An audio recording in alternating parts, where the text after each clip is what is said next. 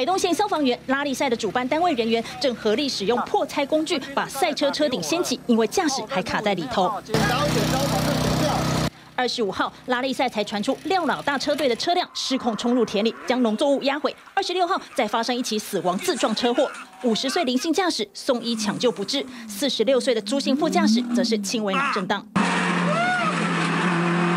死者的脸书还有二十五号和同一位副驾驶的车内主观视角。由于是一般道路，因此赛车途中经常会因为凹凸不平、全身飞起的惊呼声。死者还谢谢副驾带他飞过终点，结果隔天就发生了憾事。他是比较后面发车，发车嘛，哈。那，诶，他是通过终点，在终点跟停车的中间，我们的缓冲区。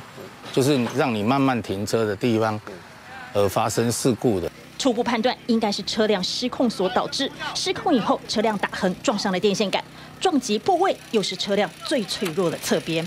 双 B 的车，什么车都一样，就是侧边最脆弱啦。因为侧边你没有车头、没有车尾的这个缓冲嘛。对。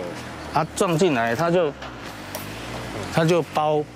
把电线杆包起来了吗？目前全案已由关山警察分局、关山联合所依相关处理程序，并报请台东地方检察署刑事相验，以厘清该案的发生原因。TVB 新闻刘景元台东报道。